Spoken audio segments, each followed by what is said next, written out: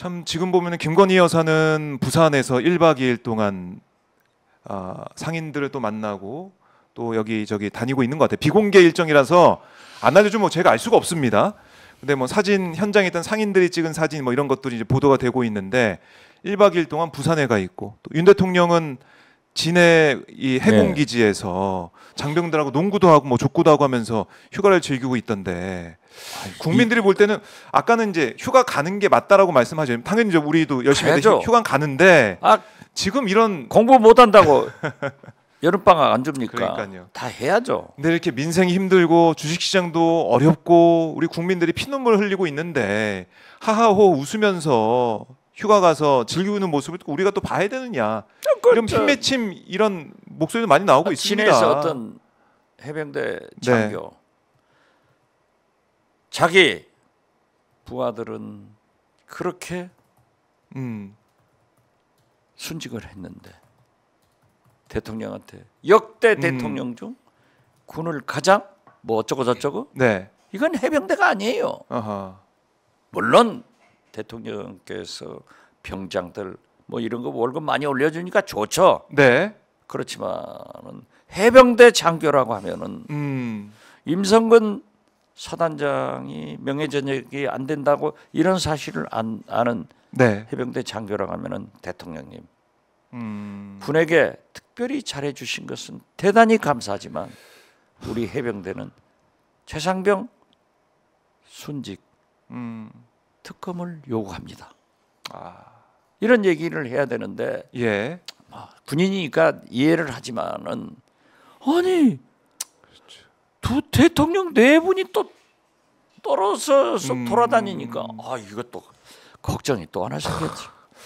가, 이, 뭐 이런저런 생각을 하면서 걱정을 하게 된다라는 건데 글쎄요 제발 민생을 위해서 또 국민들의 목소리가 담겨 있는 최혜병 특검법 같은 경우도 이번엔 꼭 거부권 행사 말고 처리가 돼야 그래야 뭔가 처음부터 풀리는 거 아니겠습니까? 아, 당연히 그렇죠. 예. 대통령이 풀고 해결하는 대통령이 돼야 되는데 네. 대통령이 꼬이게 하고 싸우게 하는 대통령이니까 저는 정치 시장 격리가 필요하다. 결국 차라리 휴가에서 결론은- 계속 돌아다니고 네. 해외 나가 계셨으면 좋겠어요. 오히려 정치 격리 말씀하셨는데 모르겠습니다. 자, 이 휴가 이후에 이 국정 운영, 특히 이제 8.15 어, 이 광복절 경축사 어떤 매세에 나올지 이것도 좀 봐야 될 것 같고 풀어야 되지 않습니까? 이제는 진짜.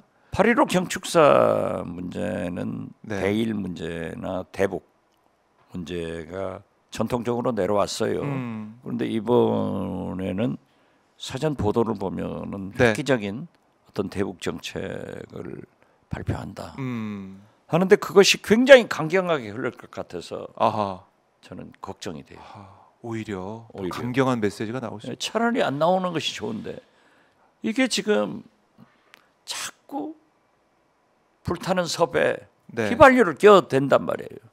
그렇기 때문에 저는 우리 정부가 음. 북한의 수혜에 대해서 지원하겠다. 네. 물론 북한은 안 받겠다 할 걸 예상하면서도 지원하겠다 음, 한 것은 이후 열혈봉단하고 잘했다고 생각해요. 네. 윤석열 대통령이 그런 8.15 경축사가 나오리라고 음, 기대할 수 있을까요? 글쎄요. 아. 이 대결 구도로 계속 갈 것 같아가지고요. 지금 보십시오. 서울에서 100km. 제가 오늘 저녁에 금기원래 18번째 합니다마는 네. 나주에서 KTX를 내려요. 음, 그래가지고 해남을 가는 길이가 100여 킬로 됩니다. 네. 서울에서 100여 킬로 떨어진 거기에 북한에서 음, 핵탄두를 발사할 수 있는 250개를 음, 설치하고 거기에 김정은이 참관을. 그러니까요. 이게 뭡니까? 음, 만약의 경우 이번에 하마스 이스라엘 전쟁이나 우크라이나 러시아. 러시아 전쟁이 예.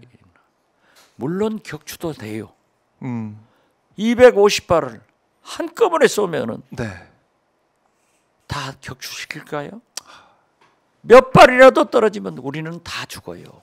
그렇네요. 이런 일촉즉발의 전쟁 위기를 제발 네.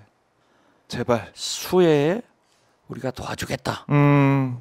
북한이 김정은이 거부절을 하더라도 이런 경축사가 나오기를 고대하지만은 네. 안 나올 거예요.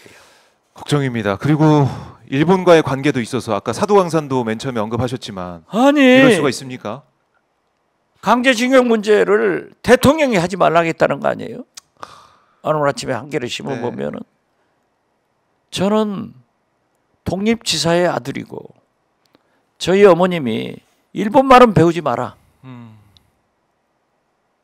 지금 이런 말씀을 네. 듣고 자랐는데 그래도 친일파입니다. 어, 일본하고 같이 잘 지내야 돼요. 김대중 대통령도 한일 수교 때 예. 우리 정대철 헌정 회장님의 아버님이신 정일영 의원 박사님, 서대문의 김재광 네. 의원님, 광주의 정성태 음. 의원님 등이 의원직 사퇴를 했어요. 한일회담 반대할 때. 아. 그러나 김대중 별 볼 일 없는 초선 의원은 해야 된다 음. 하고 찬성을 했어요. 어. 그리고 김대중 오부치 선언을 통해서 한일 관계를 좋게 만들었잖아요. 그렇죠. 그 그러나 평가를 받... 역사 문제는 예. 독일을 배워라 아. 강조했어요. 그런데 윤석열 대통령은 미국 말 듣고 미국 푸들이야. 완전히 일본한테 네. 역사를 굴종적으로 팔아버렸잖아요. 그러나 저는 한일 관계 개선을 한 것은 잘했다 음. 이렇게 보지만은 최소한 위안부 강제징용 문제에 대해서는 짚고 넘어가자.